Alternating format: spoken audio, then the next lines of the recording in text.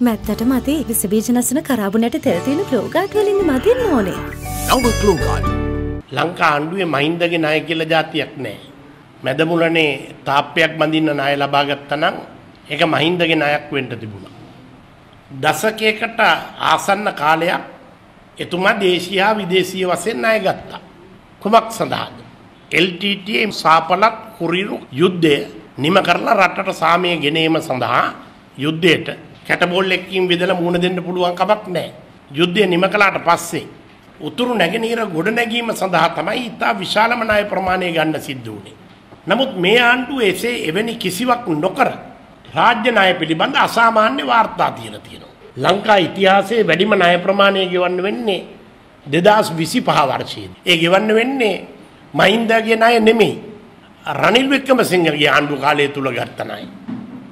මේ රජයේ බලයටපත් වෙලා 2015 වර්ෂයේදී ගත්ත ස්වෛරීත්ව බැඳුම් කරවලින් ඇමරිකානු ඩොලර් බිලියන 2.15 ඒ ටික ගෙවන්න වෙන්නේ 2025 අද ආණ්ඩුවට මූල්‍ය අර්බුදයට මූණ දී ගන්න බැරි වෙලා තියෙනවා. මේ වන විට අමාත්‍යවරු දෙදෙනෙක් වොෂින්ටනයේ සිටිනවා.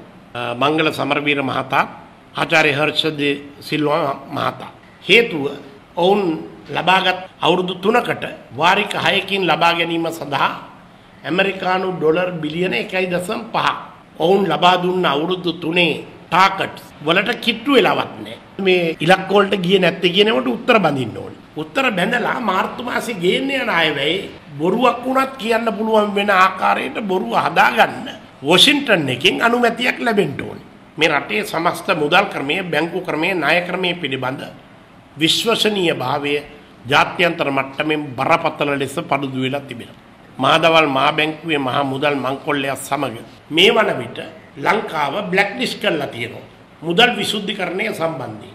මොකද රජය කියන ඒවා කවුරුත් විශ්වාස කරන්නේ අර මාදවල් මහා බැංකුවේ හොරකම කරපු එක කලේ අවුරුදු 30කට 30 අවුරුදු බැඳුම් කරයක්. ඒ කියන්නේ ඒකට ගෙවල ඉවර වෙන්නේ අපි නෑ එතකොට.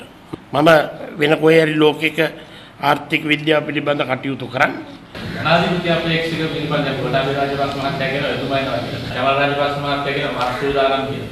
එතකොට නෑ ඒක අපි දකින්නේ ආර්ථික පරිශ්‍රණයකේ ඒක ඒක දකින්නේ ඊට වඩා වෙනස් විදියට පරිශ්‍රණාත්මක විදියට. ඒවා නිකන් මාධ්‍යයේ තියෙන ඉඩකඩ පාවිච්චි කිරීම සඳහා නිකන් ජනතාව අතර කුතුහලයක් ඇති කිරීම සඳහා අහන ප්‍රශ්න කියලා. ප්‍රායෝගික සැබෑව තමයි ජනාධිපති අපේක්ෂකයා කවුද යන්න තීරණය වෙන්නේ. නාම යෝජනාවලට සතියකට දෙකකට පෙර තමයි අවසාන තීන්දුවකට එන්න පුළුවන්.